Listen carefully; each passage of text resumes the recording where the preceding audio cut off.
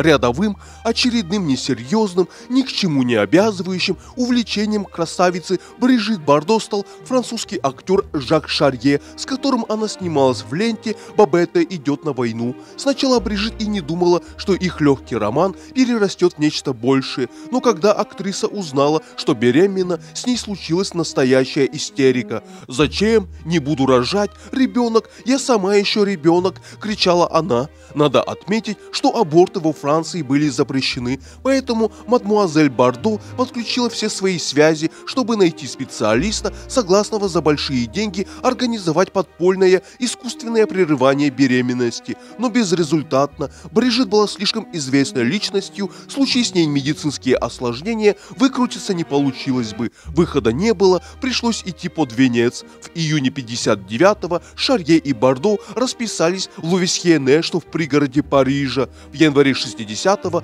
мадам Бардо Шарье родила сына Николя. Сын – это опухоль, которая питалась мною. Девять месяцев я носила это в себе. Какой кошмар! Сокрушалась Брижит. Брижит и Жак развелись в 63-м. Николя остался жить с отцом. Уже через год Шарье женился на другой женщине, Франс Луи Дрейфус, происходящей из очень богатой семьи. Франс родила маленькому Николя двух сестренок, Софи и Мари.